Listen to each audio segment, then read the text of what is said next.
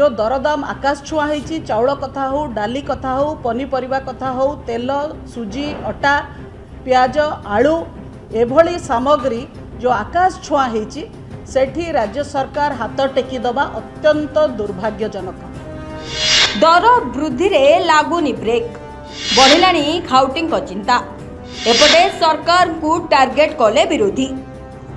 ରାଜ୍ୟରେ ହୁ ହୁ ହୋଇ ବଢ଼ି ଚାଲିଛି ଦୈନନ୍ଦିନ ବ୍ୟବହାର ହେଉଥିବା ଅତି ଆବଶ୍ୟକ ସାମଗ୍ରୀ।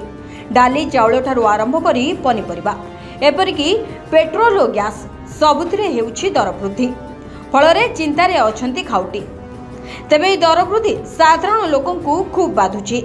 ସିଧାସଳଖ ଲୋକଙ୍କ ପକେଟରେ ବାଜୁଛି ଏହି ମହଙ୍ଗା ମାଡ଼। ତେବେ ଦର ବୃଦ୍ଧିକୁ ନେଇ କେବଳ ଯେ ସାଧାରଣ ଜନତା ଚିନ୍ତାରେ ଅଛନ୍ତି ତାହା ନୁହେଁ।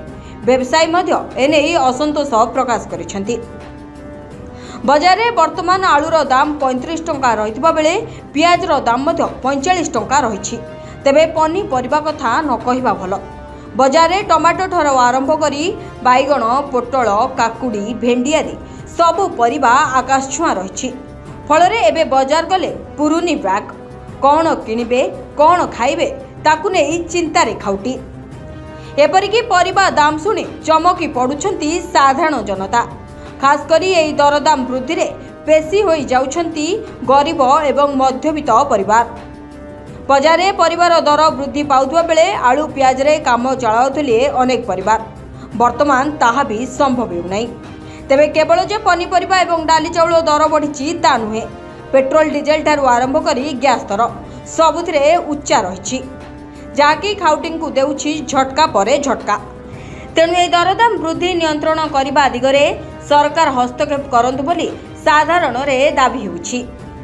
ଅନ୍ୟପକ୍ଷେ ଏହି ଦରଦାମ ବୃଦ୍ଧିକୁ ନେଇ ସରକାରଙ୍କୁ ଟାର୍ଗେଟ କରିଛି ବିରୋଧୀ ଦଳ ବିଜେଡି। ସେ ଏକ ପ୍ରେସମିଟ୍ କରି ବିଜେପିକୁ କଡ଼ା ସମାଲୋଚନା କରିବା ସହ ଯଦି ସରକାର ଦରଦାମ ନିୟନ୍ତ୍ରଣ ନ କରନ୍ତି ତେବେ ବିଜେଡି ରାଜରାସ୍ତାକୁ ଓହ୍ଲାଇବ ବୋଲି ଚେତାବନୀ ଦେଇଛନ୍ତି। ଏଥିସହିତ ଦରଦାମ ନିୟନ୍ତ୍ରଣରେ ମନ୍ତ୍ରୀ ଦାୟିତ୍ୱହୀନ ମନ୍ତବ୍ୟ ଦେଇଛନ୍ତି ବୋଲି କହୁଛି ବିଜେଡି। ଦରଦାମ ହୁ ହୁ ହେଇକି ବଢ଼ୁଥିବା ବେଳେ ମନ୍ତ୍ରୀ ନିଜେ କହୁଛନ୍ତି ଯେ ସରକାର ୟାକୁ ନିୟନ୍ତ୍ରଣ କରିପାରୁନାହାନ୍ତି ଏବଂ ସିଏ ଅସହାୟ। ଏଇଟା ସ୍ପଷ୍ଟ କରିଦେଉଛି ଯେ ଭାରତୀୟ ଜନତା ପାର୍ଟିର ସରକାର ଗୋଟେ ଦାୟିତ୍ୱହୀନ ମନ୍ତବ୍ୟ ଦେଇଛନ୍ତି। ଏବଂ ରାଜ୍ୟବାସୀଙ୍କର ଚିନ୍ତା କରୁନାହାନ୍ତି। ସରକାରଙ୍କର ଦାୟିତ୍ୱ ହେଉଛି ରିଜନେବଲ୍ ପ୍ରାଇସ୍ରେ ଯେଉଁଟା ସମସ୍ତେ ଆଫୋର୍ଡ଼ କରିପାରିବେ ସେଭଳି ଦରଦାମକୁ ରଖିବା ଏବଂ ଦରଦାମକୁ ନିୟନ୍ତ୍ରଣ ଭିତରେ ରଖିବା ଯେଉଁଥିରେ ସବୁ ବର୍ଗର ଲୋକ ସବୁ ବର୍ଗର ଖାଉଟି ତାଙ୍କର ଅତ୍ୟାଧିକ ଅତି ଆବଶ୍ୟକ ସାମଗ୍ରୀକୁ କିଣିପାରିବେ ଏବଂ ବ୍ୟବହାର କରିପାରିବେ। ଆଜି ଯେଉଁ ଦରଦାମ ଆକାଶ ଛୁଆଁ ହେଇଛି ଚାଉଳ କଥା ହେଉ ଡାଲି କଥା ହେଉ ପନିପରିବା କଥା ହେଉ ତେଲ ସୁଜି ଅଟା ପିଆଜ ଆଳୁ ଏଭଳି ସାମଗ୍ରୀ ଯେଉଁ ଆକାଶ ଛୁଆଁ ହେଇଛି ସେଠି ରାଜ୍ୟ ସରକାର ହାତ ଟେକି ଦେବା ଅତ୍ୟନ୍ତ ଦୁର୍ଭାଗ୍ୟଜନକ। ରାଜ୍ୟରେ ଅତିଷ୍ଠ ହେଲାଣି ଦର ବୃଦ୍ଧି ଭାଙ୍ଗି ପଡ଼ିଲାଣି ଗରିବ ଏବଂ ମଧ୍ୟବିତ୍ତ ପରିବାରର ଅଣ୍ଟା। କିନ୍ତୁ ଏହି ଦରଦାମ ନିୟନ୍ତ୍ରଣରେ ଲାଗିପାରୁନି ବ୍ରେକ୍ ତେବେ ଅସାଧୁ ବ୍ୟବସାୟୀ ଏବଂ କଳା ବଜାରୀ କାରଣରୁ ବଜାରରେ ଅତ୍ୟାବଶ୍ୟକ ସାମଗ୍ରୀର ଦର ବୃଦ୍ଧି ପାଉଛି। ତେବେ ଏହିସବୁ କ୍ଷେତ୍ରରେ ସରକାର ତୁରନ୍ତ ପଦକ୍ଷେପ ନିଅନ୍ତୁ ବୋଲି ସାଧାରଣରେ ଦାବି ହେଉଥିବା ଦେଖିବାକୁ ମିଳିଛି।